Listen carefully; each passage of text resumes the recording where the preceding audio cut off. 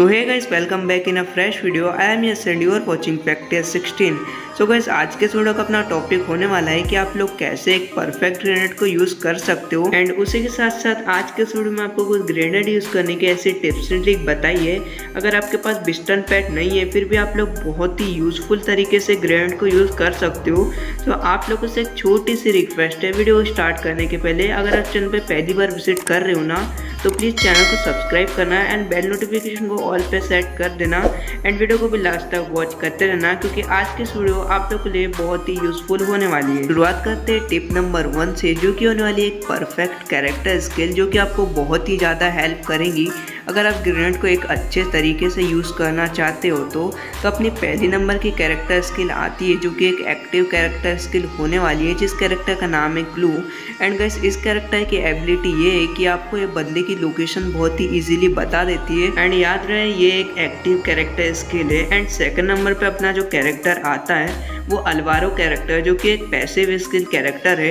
And उसमें क्या होता है, ये आपका ग्रेनेड का जो डैमेज होता है, वो बहुत ही ज़्यादा इंक्रीज कर देता है, क्योंकि अभी डैमेज का कम कर दिया है ग्रेनेड का, इसलिए आप लोग वहाँ पे अलवारो कैरेक्टर का यूज़ कर सकते हो। तो अपना थर्ड कैरेक्टर आ जाता है, जो कि अपना मोको कैरेक्टर होने वाला है, जो कि आपके बंदे की लोकेशन को मार्क कर देता है एंड आप वहाँ पे ग्रेनेड कुक करके बंदे को इजीली किल कर सकते हो। टिप नंबर टू सो कभी कभी क्या होता है ना, आपके बंदा बहुत ज़्यादा दूर होता है एंड वहाँ तक अपनी ग्रेनेड की रेंज नहीं रहती, जहाँ तक आपका ग्रेनेड पहुँच सके, भले आपके पास बिस्टन पैट हो या फिर ना हो तो कभी भी आपके बंदा दूर रहता है, जहाँ तक आपका ग्रेनेड ना पहुँच सके तो आपको उस सिचुएशन में आपको थोड़ा जम करके ग्रेनेड को फेंकना है, जिससे कि क्या होगा, ग्रेनेड आपका बंदे तक पहुँच जाएगा, एंड वहाँ पे बंदा आपका इजीली किल हो जाएगा तो आप लोग यहाँ पे देख सकते हो, मैंने बिना जम करके यहाँ पे ग्रेनेड को फेंका तो ग्रेनेड वहाँ तक नहीं पहुँच सका, एंड अगर मैं यहाँ पे जम करके ग्रेनेड को फेंकूँ तो आप लोग यहाँ पे देख सकते हो ग्रेनेड की जो रेंज होती है, वो और भी ज़्यादा बढ़ जाती है, जिससे कि आपका ग्रेनेड और भी ज़्यादा दूर चले जाता है। टिप नंबर थ्री तो आपको टिप नंबर थ्री में आपको बताने वाला हूँ कि आपको कभी भी कहीं पे भी ग्रेनेड को नहीं फेंकना है। आपको ग्रेनेड वहीं फेंकना है जहाँ पे आपको बंदे की लोकेशन पता हो।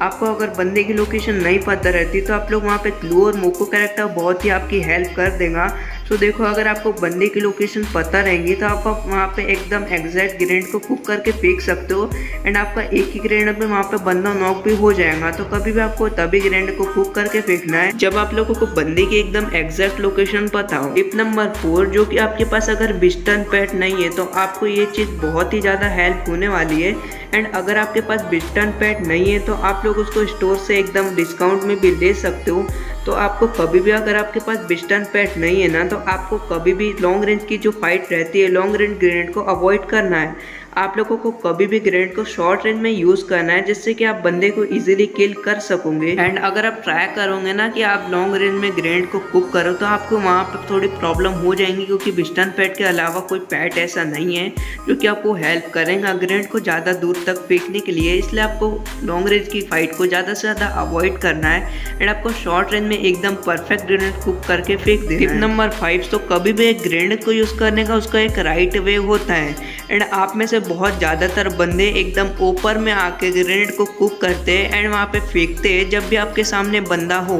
तो वहाँ पे आप लोग ग्रेनेड को ओपन में आके कुक करते हो तो आप लोग वहाँ पे इजीली बंदा आपको नॉकआउट कर देता है। सो कभी भी आप लोग को एक कवर में ग्रेनेड को कुक करना है एंड फिर बंदे के ऊपर फेंकना है तो जिससे कि आप भी नहीं मरोगे एंड बंदा भी यहाँ पे ग्रेनेड से पूरा डैमेज हो जाएगा या फिर नॉकआउट हो जाएगा। सो होप आप लोगों ने इस वीडियो को एंजॉय किया होगा एंड अगर वीडियो आपको अच्छी लगी है तो प्लीज़ वीडियो को लाइक करना चैनल को सब्सक्राइब कर देना एंड वीडियो का नेक्स्ट टॉपिक भी आप लोग कमेंट में बता सकते हो एंड फिर किसी वीडियो में मिलते हैं एक नए टॉपिक के साथ, एक नए वीडियो के साथ। जब तक के लिए love you guys peace out